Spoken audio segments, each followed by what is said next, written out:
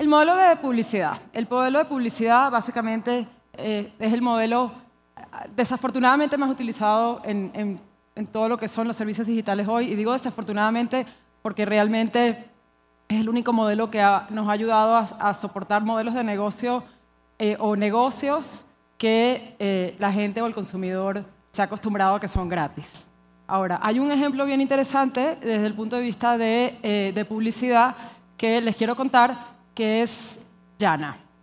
Yana es una compañía eh, que está en Asia, en muchas partes de Asia, que básicamente lo que hace es, tú, bajas eh, una aplicación a tu teléfono, es una compañía de mobile, ¿no? donde, donde básicamente en tu teléfono empiezas, bajas aplicaciones en un marketplace que ellos tienen, y esas aplicaciones y el uso de esas aplicaciones te da datos de Internet gratis.